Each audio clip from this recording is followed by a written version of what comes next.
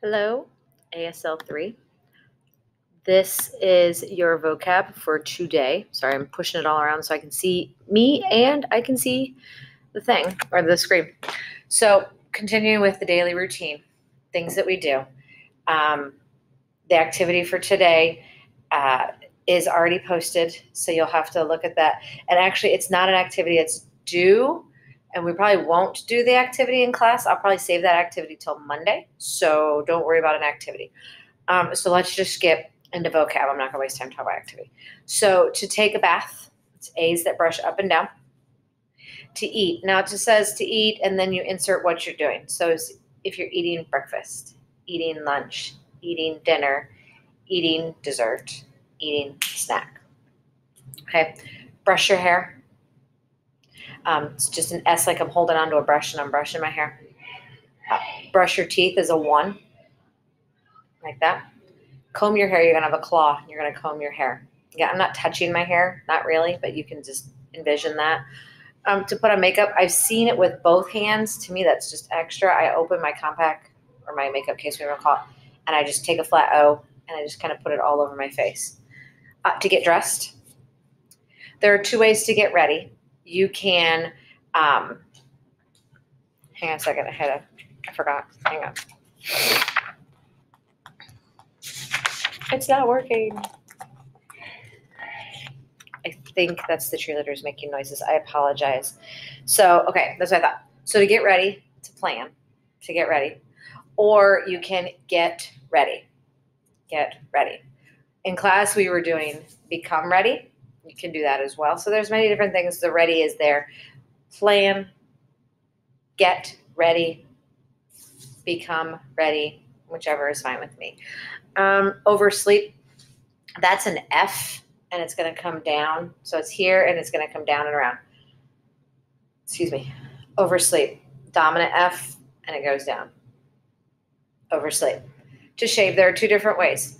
The one shave is a Y the other shave is an X. Now you need to be careful with this because this way is to shave, but this way is the sign for Akron. So you want to be careful with that, or the sign for tires because it's the sign for rubber.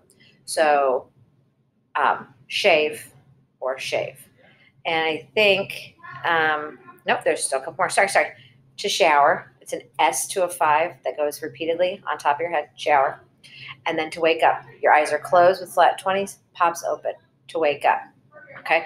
Now you don't have to look as alarmed as I just looked, but you can just wake up. Um, to change your clothes, to change clothes. So dominance X is in front. They switch spots. So you're here to change clothes. Change. I'm oh, sorry, sorry.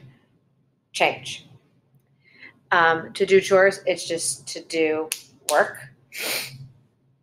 Um, errands are things that you could do errands or errands with double hands or errands because the errands means you're doing a lot of things. So do do.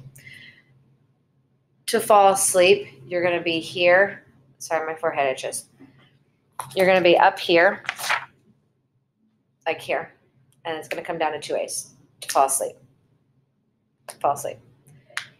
Um, to go to bed.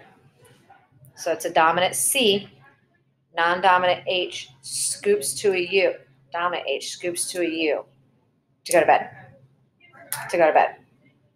To go to bed. Rest or relax. It says two fives, dominance over non-dominant. They just tap tap. To set your clock, you're going to set your clock. Set it's a five, pushes to a thumbs up, and then tap tap your watch. Early, middle finger goes from you can see it's right here between my thumb and my first finger, and it goes completely across. Early. Always, we know that one. Big circle. Four, four. Never. Sometimes. And to use. Okay, it's just a U that's hitting on an S. And then that is the vocab for today. So no activity for Friday. Um, watch the video, take the notes. And then what we're doing in class, which some of you may have already done since you have time, is today in class we're signing the sentences from yesterday that were put up. Um, so just know that that is also due. Turning your top five or your 94%, turning your receptive sentence.